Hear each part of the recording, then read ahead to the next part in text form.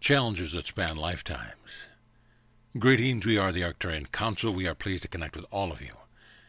We have begun the process of examining your problems from a larger point of view, and we have noticed that your problems are stemming from more than just something that you've done to create them in this lifetime. We like to refer to your problems as challenges because you see the point in facing a challenge, but problems just seem to exist for no one's benefit. The challenges that you are facing now are the ones that you've been facing for lifetimes, and they are the challenges that your genetic line has also faced over and over again. You are here to change your approach in this lifetime. This is one of the things that you came to do.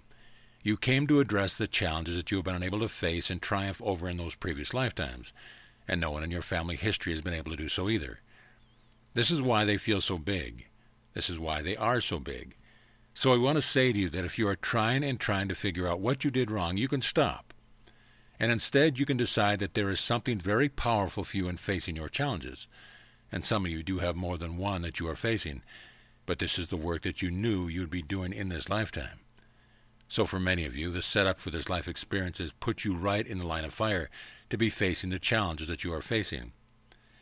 The good news is that in all of your previous lifetimes and in the lifetimes of those in your family who have come before you, you have asked for help. You have prayed. You have pounded your fist. You have shouted to the heavens, and you have always been answered. Now is a lifetime where you can receive more help in facing these challenges. You are not alone. You are not doing any of this alone. Take the pressure off yourselves and allow in the help from the higher realms. So, how do you do this? Well, you slow down, you put yourselves in a relaxed state, open yourselves up energetically to all that you have summoned over many lifetimes. An energy surge. We are exploring the possibility for humanity to experience a wonderful energy surge from the Earth core. The Earth is a being just as much as she is a planet, and just as we look for opportunities to give you what it is that we feel you need, so does your Earth. She is also looking for ways to help, and right now there's a great deal of consideration going on within Earth's consciousness. We can, of course, communicate with her, and we have been. We have been making our suggestions, and she has been taking them into consideration. And so at this time, there's a lot of discussion about an energy surge. Now, this energy surge would be something that everyone would feel, but it would impact every single person on the planet and every single being living in the oceans and underneath the surface of the planet. It would, of course, affect the plants and animals as well. Now, as you connect with Mother Earth, realize that there are smaller surges of energies coming from her core all the time, and that is one of the best reasons that you have for grounding. You also benefit greatly from earthing, which is the act of laying on your planet. We know that you will make the right choice for all of you. We know that there is no other being who is more equipped to make that choice. She loves you unconditionally without hesitation, and every time one of you thinks of her and takes her well being in consideration, she is aware of it.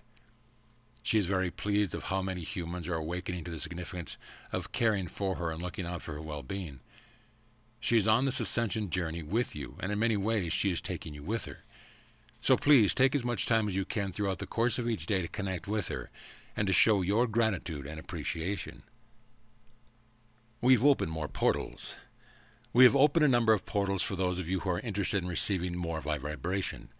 These portals have been strategically placed in different parts of your planet so that we can reach the largest number of you directly. Now, if you are wondering how to find one of these portals, rest assured that you don't need to find them in order to receive because of them. There are no magic words or phrases you need to speak in order to open them. They are already open. And we are able to send you more of our love, light, and support, as well as the upgrades, downloads, and activations that you all want. Now it is necessary, of course, to open yourselves up to receive. You will always benefit from opening yourselves up to receive, but that is true now more than ever. Many of you have been afraid of lower frequency beings, thought forms, energies, psychic attacks, and you have closed yourselves off as a result. If that is the case for you, then now is a wonderful time for you to face those fears, feel them, process them, and let yourselves receive. Let our higher frequency gifts into your energy fields and unwrap them whenever you feel ready to do so. We are offering so much because of how beautifully you have all responded to us, and we feel your readiness for more. We sense within the human collective a desire to connect, and we are happy to be part of this journey with all of you. It is a pleasure and a beautiful and wonderful experience for us.